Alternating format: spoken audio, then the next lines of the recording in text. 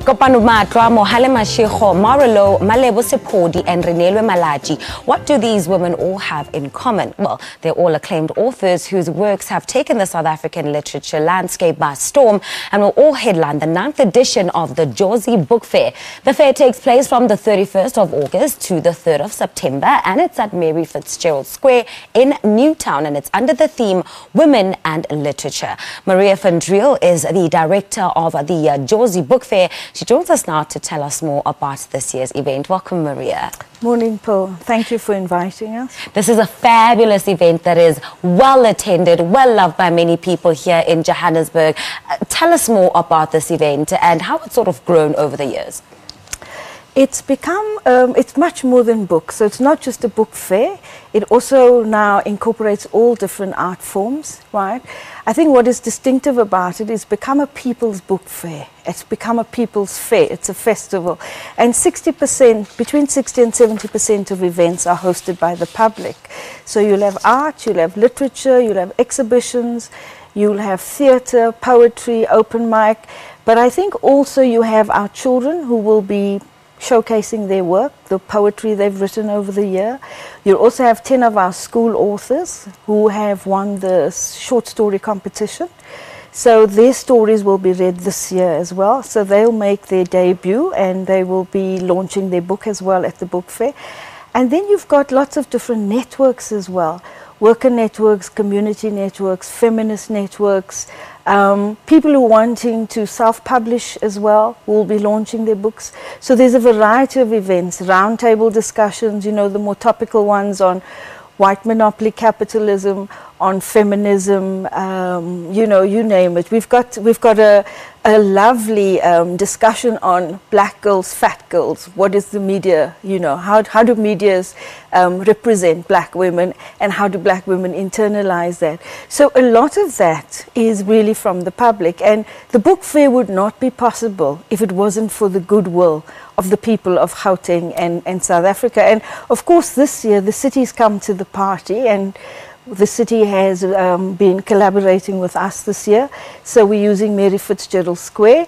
And we think with you know, it's a very insightful decision on the part of the city as well, because in this way we can build a movement of readers and writers and we can end social inequality in this way. You know, when people come together and it's a little bit of normality and building tolerance and citizenship, etc. So it's really a fun festival, you know, for everybody, for the family, for the household.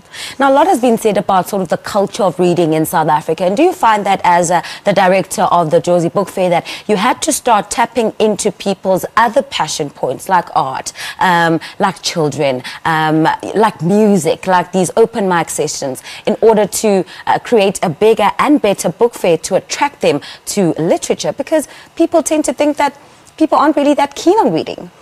You know, literature is also about life, right? And I mean, it's about everything that affects all our lives. We come through an education system that sometimes alienates us and puts us off reading, right? We don't grow up with books, we don't have many libraries, etc. So it is our task to say, how do we make reading interesting as well? How do we get people to read? Architecture or to read the city, you know what I mean? How do we get them to read different kinds of things, you know what I mean? Not just the book, but I think, as you say, it's about theatre, it's about how do you write a song? You like the music, write the song now. So play with the words, etc. And what we find works really well for all ages, not just children, is playing with words, playing with language, playing with indigenous languages, etc. Telling one story in many different languages. And it's amazing because it also breaks down the stereotypes and the divisions in the country that we live in as well, you know? Yeah. So that people begin to look at this as just it's another human activity that binds us together. And uh, tell us about the theme, women in literature. Do you think, just expand on that for us, do you think um, the amount of female writers that are emerging in this country is, is making a big enough impact uh, in the world of literature? Look, I think it's happening, and I think you know we're cultivating young girls. We're writing our schools, our youth, etc. I think we've got a fascinating lineup as well of, of women of different ages as well. So it's also about looking at how we're depicting women in literature. We're also looking, delving into the history of women in literature because I think one of the exhibitions on display, which I think you'd be interested in, in is a pioneer woman in the media. So we're looking at Noni Jabavu, Ellen Kuzwayo, you know, the women pioneers who've become invisible and have been buried. We're trying to unearth them as well as part of looking at our history and saying, this is not the first time, you know what I mean, that women are in in, in literature, you know what I mean? Can we reclaim that history? Can we revisit that? Can we look at that? What are the lessons for us now in, you know, the, after 20 years of democracy, how are we looking at women? Are we actually reflecting the issues, the realities, etc.? So we're linking literature as well to, for example, Stats SA they're coming to do an exhibition as well to look at what is the reality of black women in South Africa and how does the literature reflect this so that, you know what I mean, it's multidimensional and we're looking at literature from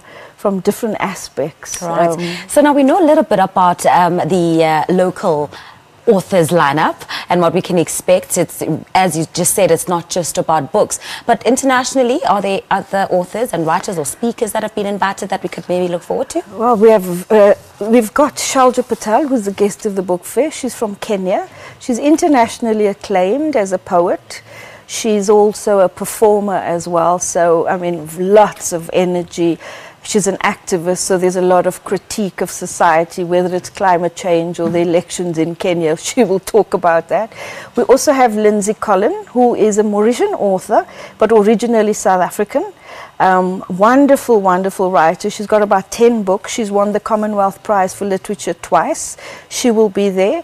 We have an author from the US called Cray Francis, who saw, you know, heard about the book fair on social media, etc., and says, you know, black, South, uh, black, um, a black woman from the US who is now coming to do a lot of workshops, etc. And she's bringing herself because she likes the ideas that we're trying to promote in the book fair as well. So we've been very, you know, very, very fortunate. Busy and fortunate. And it's lovely. going to be absolutely lovely. Thank you so much Thank for your time this much. morning. Yeah, that is uh, Maria van Driel, who is the director of the Jozi Book Fair, which takes place from the 31st of August 2017 to the 3rd of September at Mary Fitzgerald Square in Newtown, Johannesburg. This year's theme is women and literature and will be headlined by, amongst others, uh, Kopano Matlwa, the likes of, uh, uh, uh, you know, she wrote the books of the likes of Spilt Milk and Coconuts, which I read back in school. Her latest book is uh, titled Period Pains and internationally acclaimed Kenyan poet, playwright, theatre uh, art, theatre artist Shajila Patel, if I am saying that correctly.